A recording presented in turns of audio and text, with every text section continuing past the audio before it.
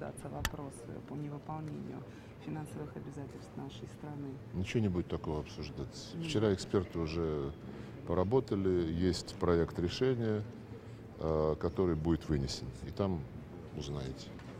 Ну, в принципе, не, не-. Мы, нет, мы готовы обсуждать все, что угодно, потому что э, устав Совета Европы гласит, что все должны иметь равные права и равные обязанности.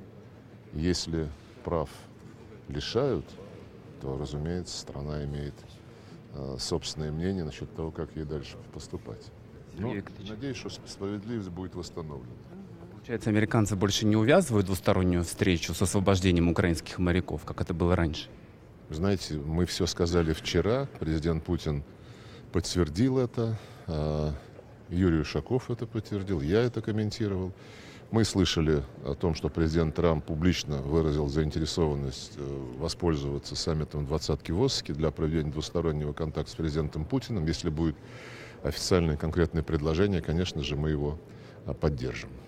Вчера вроде бы такая была более-менее благожелательная, конструктивная атмосфера. Но вот в этом конструктиве кто-то готов идти на какие-то уступки, на ваш взгляд?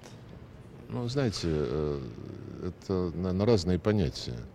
Надо всегда быть вежливыми, а мы вежливые люди. Мы говорим на любые темы, а, исходя из того, что нужно общаться, нужно слушать друг друга. И мы других слышим, между прочим, они нас не всегда. Но это отнюдь не означает, что если мы вежливо разговариваем, то что мы будем э, идти на какие-то уступки, которые противоречат коренным национальным интересам Российской Федерации.